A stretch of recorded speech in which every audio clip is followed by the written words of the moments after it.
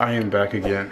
I think I moved three times within me starting this channel, but today finally settled into my new place. I'll get into that in another video. I got the Goat Drip Legendary Oil by PB. No mineral oil, no petroleum, no parabens, no sulfites, no formaldehydes. I guess that's how you say it. The ingredients say Jamaican black castor oil, olive oil, hemp seed oil, juniper berry oil, peppermint oil, lavender oil, tea tree oil, cedarwood oil.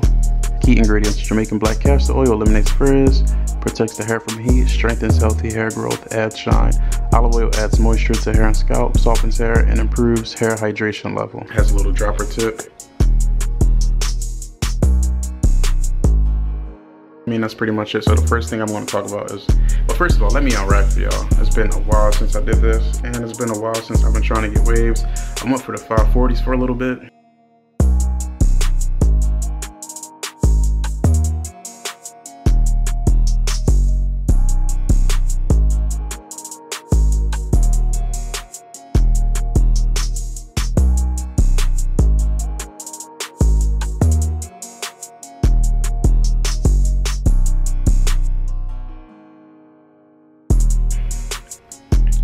I stopped that, took a break from waving, and now I'm back doing a 360. So.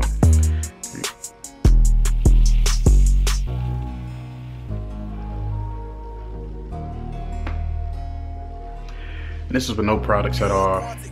All I did was do washing style when I got off work, ragged up.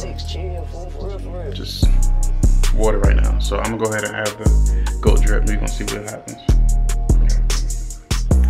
The Fruit Loop aroma of it is kind of strong.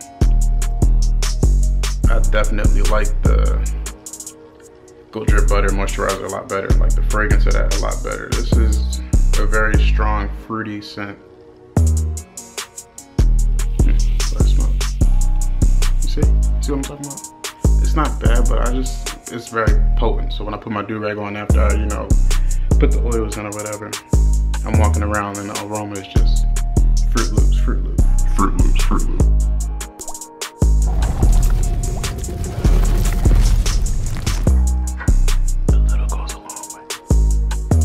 got it here in my hand.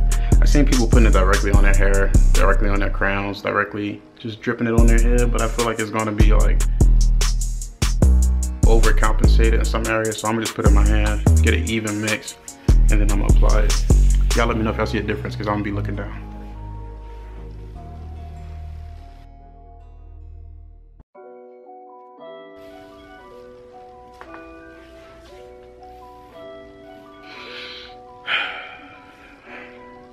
So it's a little, I mean, obviously it's gonna be a little bit more greasier than Goat Drip Moisturizer because it's an oil. So that's what's on my hands, the residue. Um, so yeah, add some shine.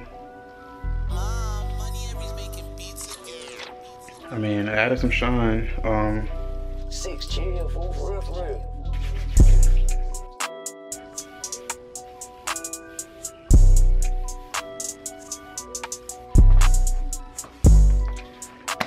So I got it in right now. I'm gonna go brush with soft brush, rag up, and then I'm gonna come back and take the do rag off. Let y'all see how it is.